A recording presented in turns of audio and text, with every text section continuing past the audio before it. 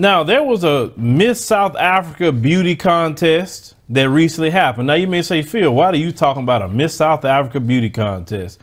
No, there's a point to this. That's why I'm going to talk about it.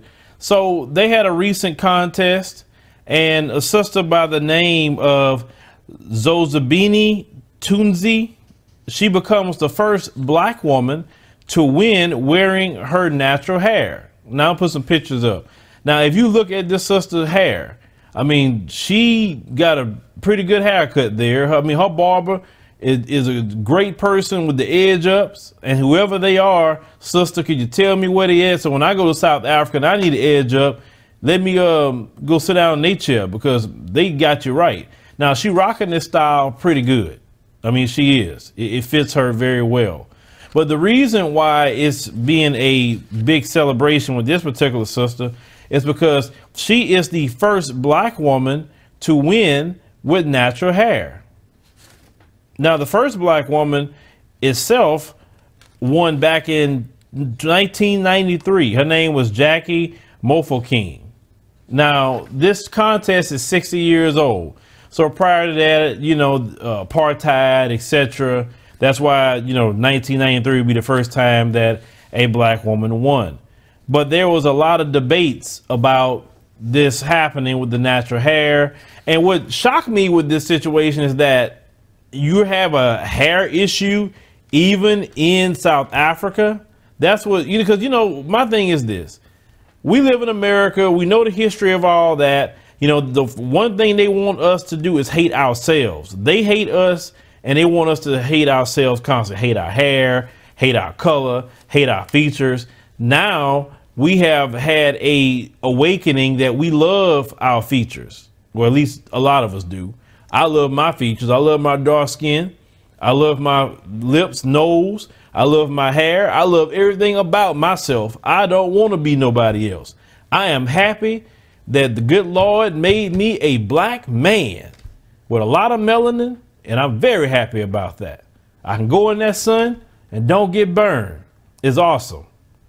Last time I was in that sun, when I was working with Brother Sharif, the only thing happens to me, I get real dark, but I don't get no third degree burns. So thank God for that. I'm proud of that. Now, there's a sister that was talking about this also on Twitter with a natural hair. Let's put that up. As you can see here, she said, This day finally came. Natural African hair under the Miss South Africa crown and heading to the world stage. You are breathtaking. It's a congratulations.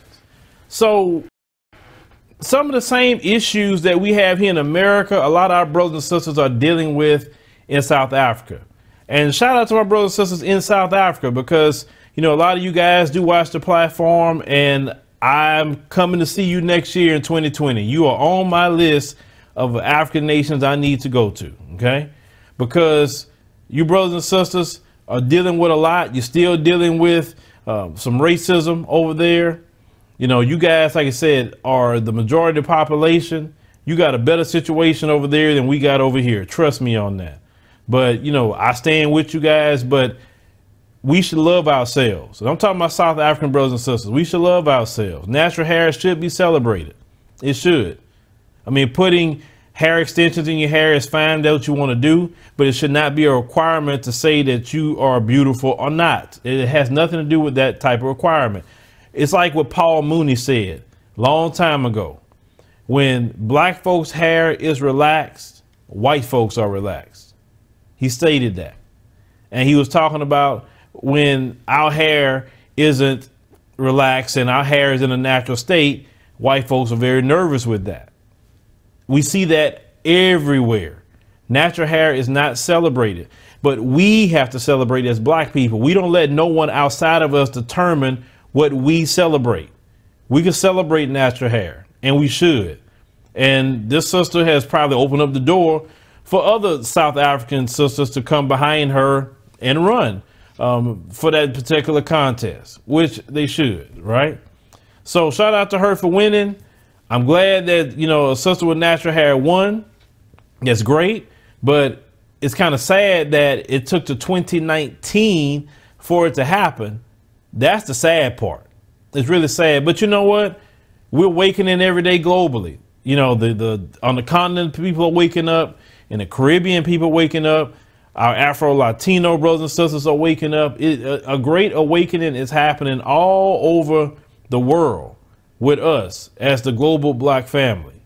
So, with that also happening, things are going to change. We get more connected than ever before. We are working together now. Things I'm telling you, I never thought that I can even have working relationships on the continent and have people on the continent doing different things for us and and you know doing different um, uh, things to help the platform grow, etc. Like I say, it's a beautiful thing that we starting to come together all over the world. They need to have a diaspora beauty contest. They need to and have all the women from different, you know, countries and um, do a pageant. Nothing wrong with that, right? I mean, I don't know if that exists, but if it don't exist, and maybe a good idea for uh, some people to put on. Shoot, maybe we can help put that on and film it. I don't know. That'd be cool, right? I mean, you you should celebrate, um, you know, the the women, celebrate the young girls because they need that, especially being beat up in this system constantly. This system always tell them they less than and, and they're horrible and something's wrong with your hair, something wrong with your color, something always wrong with you. And we have to say, no, that's not the case. As fathers, we have to double down and let our children know, our little girls know that they're beautiful how they are. There's nothing wrong with their hair, their color, etc. Dads have to be there to reinforce that because you are the first man that she is going to encounter. That's why it's a bad thing when dads aren't in the children's lives because the son need a dad to guide him. A daughter definitely need the dad to show her how to even date because sometimes some young ladies go in the street looking for a daddy and a lot of guys take advantage of that. So shout out to this sister uh, for winning the contest. But leave me a comment, let me know what you think about this particular situation, about her winning having natural hair. Like I said, that should not even be an issue, but hey, things are changing and I'm glad to see it happening.